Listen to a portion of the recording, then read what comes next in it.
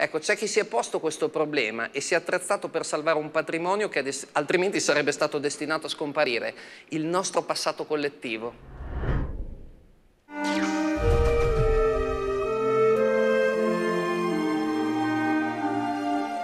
Il primo sorriso. Il primo sì.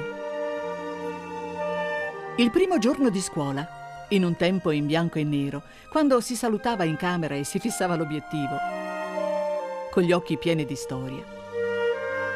Sono spezzoni di vita conservati grazie alla passione di uomini che, filmando la propria storia, hanno impresso su pellicola squarci del passato italiano. Questi filmati amatoriali, girati in 8 e Super 8, sono oggi custoditi dall'Archivio Nazionale del Film di Famiglia a Bologna. Un vero e proprio museo della memoria.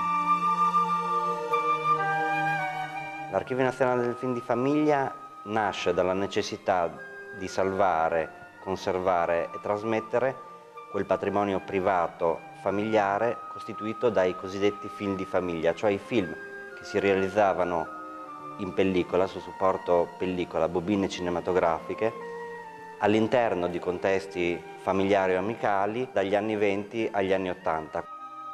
In dieci anni di attività, l'archivio, fondato dall'associazione Home Movies, ha raccolto oltre 11.000 film, più di 3.500 ore di materiale audiovisivo proveniente da tutta Italia.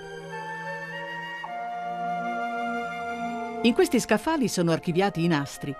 È materiale trattato con devozione, rispetto per la pellicola che ha conservato la memoria come i supporti odierni non sanno fare.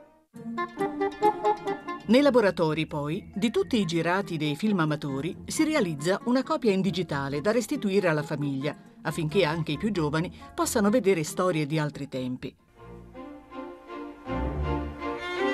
I filmati originali rimangono qui, conservati nell'archivio come un tesoro.